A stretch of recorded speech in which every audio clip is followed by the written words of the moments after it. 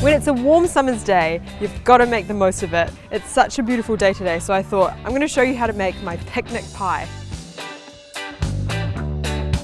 Cook some bacon until it's just about crispy, then add onion and keep cooking it until the onion is nice and soft. Slice some mushrooms and add them to the pan. Keep cooking this mixture until most of the moisture has evaporated because if there's too much moisture in it, the pastry will end up being soggy.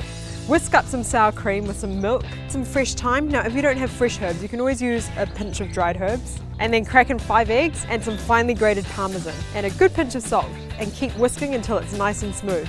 Roll out your pastry until it's nice and thin and you want to make sure that the piece of pastry is big enough so that when you put it into the pie dish there's enough to overhang on all of the sides. Scatter over that really yummy bacon, mushroom and onion mixture. Pour the egg mixture on top. Top with some cherry tomatoes and a few dollops of some pesto. Gently fold the overhanging sides of the pastry so that it all kind of looks nice and rustic. Bake the pie until the pastry is crisp and golden. So while the pie is cooling on the bench, make a salad. Some nice salad leaves, a bit of chopped tomato, some avocado, and then you can make a dressing, some whole grain mustard, some olive oil and some balsamic vinegar. If you're taking a salad with you to eat al fresco, make sure you take the salad dressing separate and then dress it just before eating.